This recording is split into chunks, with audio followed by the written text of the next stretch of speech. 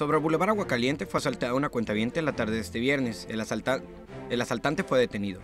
El atraco fue alrededor de las 15.30 horas afuera del banco HSBC y el asaltante huyó a pie con dirección hacia el Boulevard Sánchez Tahuada e ingresó a una carnicería para perder a las autoridades, pero fue detenido. El hoy detenido, aún no identificado, llevaba consigo un arma de fuego. Personal de la Comisión Estatal de Derechos Humanos realizará guardia el próximo domingo 5 de junio, día en que se llevarán a cabo las elecciones.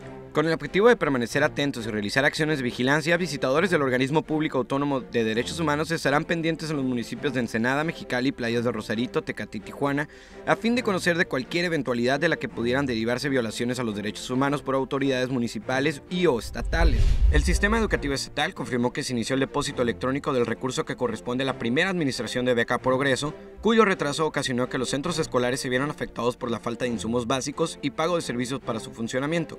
Hasta ahora han sido cubiertas 2.175 escuelas con un pago total que equivale a 62.450.620 pesos. A través de Beca Progreso, las escuelas reciben 420 pesos por alumno para la adquisición de materiales didácticos, artículos de limpieza, agua para beber y pagar servicios como luz, agua y teléfono.